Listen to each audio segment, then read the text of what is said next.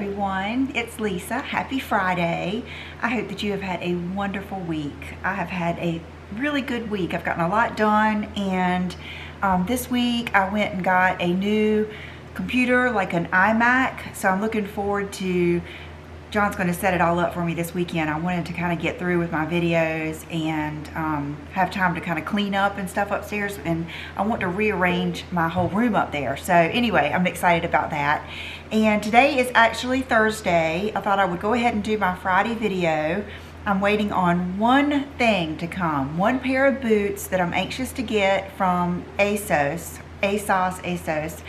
And um, I got two other pair of boots when I was on the Zara website. I saw these and I got them. But I'm more excited about those because they're a little bit different. They're the patent leather. And so I might do all that I can this video and then do the end of it later after they come. But anyway, so it's going to be a quick one today.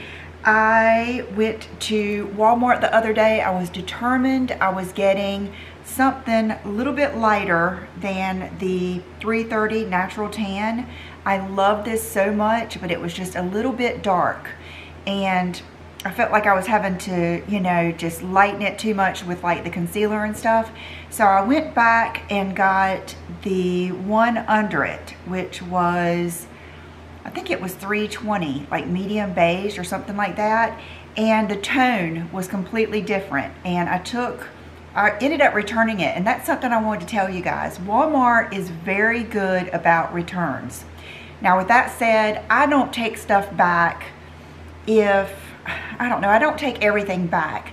But with foundations, I feel like, you know, that's part of buying a foundation at the drugstore is if I'm going to do that, I want to be able to take it back. So I did take that back and let me go back. Let me go back before that. The tone was different. It was not a neutral tone. It was much more yellow. And I just don't prefer a yellow tone foundation in the winter time. I prefer more of a neutral, a really good neutral. So I returned that one and the next time I went I was looking at all the different shades and I got so confused. So luckily I was able to pull up the Revlon website and I found that for a um, neutral medium skin tone, they suggested 180. So I went down from 330 to 180 to sand beige. And in both of these, I got the combination oily, which is matte. And so this is too light, but a pump of this, the pump of this is perfect. And I just mix it on the back of my hand, and that is what I have on today. Now, if I wanted to really go for like a natural look, or if I just really, really wanted to have that bronzy feeling, sometimes I do feel like that. Like I really want that more of a sunny look, then I would probably go with more of the first one, the 330, and maybe just a teeny dab of the other one. So it's good to be able to adjust it. So I wanted to tell you that, that if you're like me and you tried this one and you love it, and you really, really love that neutral tone, here comes Chanel. She's getting off of the kitty thing that they love. And she's gonna come over here. hey baby. I just brushed her.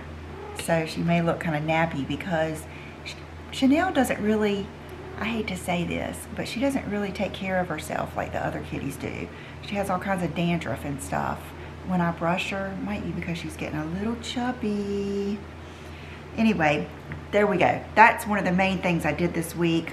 And then when I was in there, I looked at the medium powder. I decided to stick with the medium to dark, and I'm glad I did. What I do is I use like one of the BK Beauty brushes to do it all over. And then when I want to just get it a little bit more intense, I just use a, a natural fiber brush, kind of like the Sonia G, like I did in that tutorial. And um, so I think that's all of stuff like that that I got. Oh, and I did get the I went one up in the Revlon concealer. I don't have it out here, but I will list it down below, the color that I got. So it's not so white. It's a, I've got it on now. It's just, you know, blends in a lot more. And then this, I was so excited to show you guys this. I have been using it. Today I didn't use it. I went back to an old favorite, my Tom Ford Cocoa Mirage, just for something different. But this palette, it is in that same e.l.f. line And I didn't realize Mad for Matte was like this line. I might have called that other one Mad for Matte. Chanel. And, um, but this one is like a whole palette, almost a whole palette of crease colors. It is a gorgeous palette. Look at that.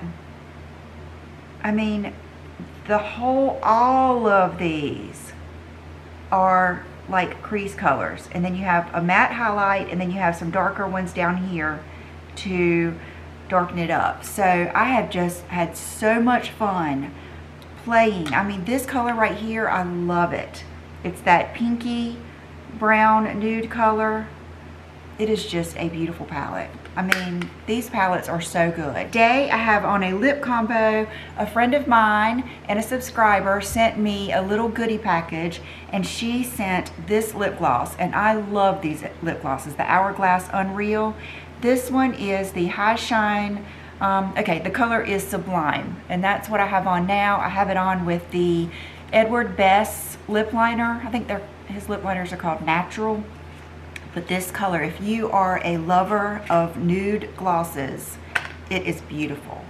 And it might not, I'm scared it isn't translating well on camera because sometimes on videos, a color just looks better. But I wanted to show this to you, how pretty it is. It is just gorgeous. And it is so glossy, like latex. And my baby's crying back there, so let me go get her. Hold on. Okay, so she had to go potty. So anyway, oh, this gloss. Love it, and I think you would love any of those. What is the other one? I'll put the name of the other gloss that I have in that line too. I know it's more of one of the pearly ones. There's like a couple of different formulas, and they're all so good. Um, I've got my socks out here to put on. These are some of my H&M socks. Aren't they cool? And they're so soft. They look like they would be, you know, you can rest assured I'm not going to wear anything or show you anything that is not soft and comfy. There's just not, I know that I would look better sometimes in things that were more structured, but I'm just into comfort. So anyway, these always look scratchy to me, but they're not. They're very soft. Okay, I'm gonna just go ahead and show you the boots that I got from Zara. Both of those are really cool too. And this happens because I'm always looking for good boots for you guys and I end up seeing them and just, these are the real leather ones, but they're not crazy expensive and I just wanted to share them with you. So hold on, I'll be right back. I feel like too, even though, you know, black boots, a black boot, there is so much different. You know what I mean? There's just little things make a big difference. Okay, the first pair I actually wore in my Walmart fashion video the other day. I had so much fun with that and I learned something each time so eventually I'm going to get that just perfect. But anyway, this is a pair of boots that I ordered from Zara and what is special about these boots is I have wanted a pair of Tamara Mellon boots for so long and they look like this but the only thing that kept keeping me from getting them besides the price, the price is pretty high, but what really made me kind of shy away from is the heel was real low. It was like a not even a two inch heel.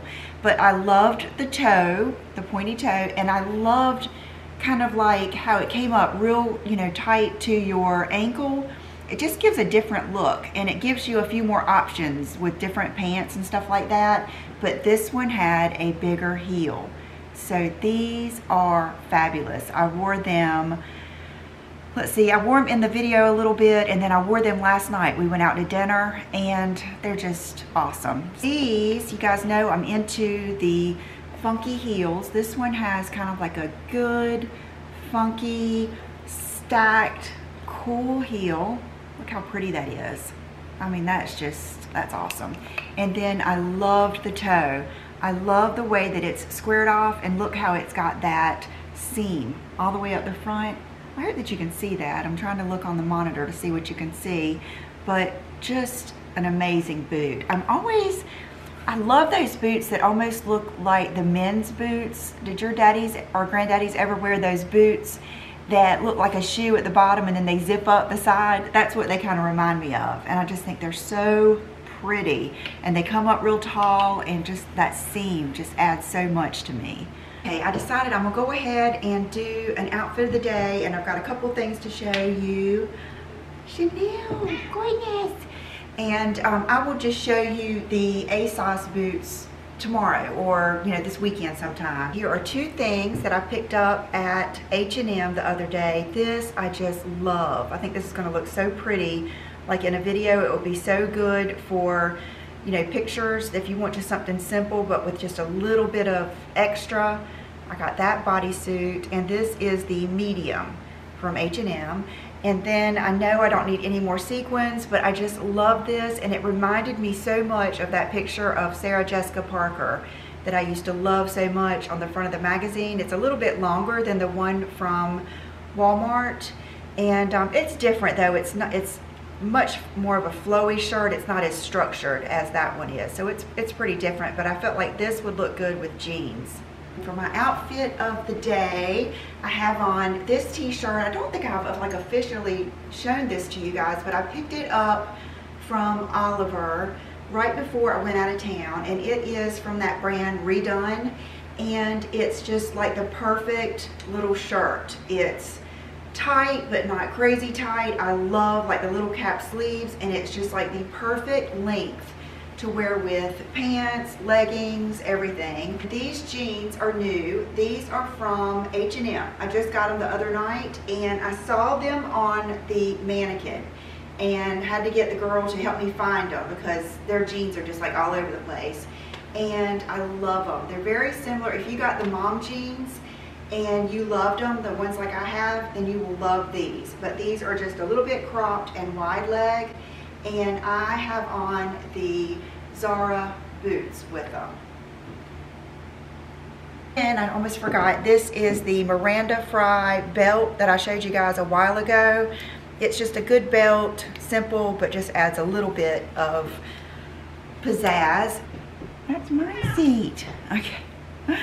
Chanel won't even let me sit in my own seat. For accessories, I have on, I kind of went with the whole Miranda Frye thing. I went with these earrings that I love so much. I didn't do any extra necklaces because I felt like with this, the belt, and the rings, that was enough. I don't want to do too much. And um, here are the new rings that they sent me. I love these and I love wearing them together. They're just a little bit different. One is a little bit wider than the other but I love the way they look together. And then that is the signet ring. And I almost forgot to tell you guys the winner of my giveaway. I took a picture of it here. Okay, it is Nadia, Nadia L. Lynn. N-A-D-I-A-L-L-Y-N-N you are the winner. And it looks like on IG, you're Nadia Lopez, 21. So I will get up with you on Instagram and you won the PR package giveaway. And um, I'm gonna be doing lots more. So stay tuned. Don't forget to follow me on Instagram. And is there anything else I wanted to tell you? I don't think so. I think that's it. So stay tuned. I'll be back real soon and I'll show you the other boots. And matter of fact, I'll link the boots that I got from ASOS just so you can look at them. They were less expensive than these. See you then. Bye-bye.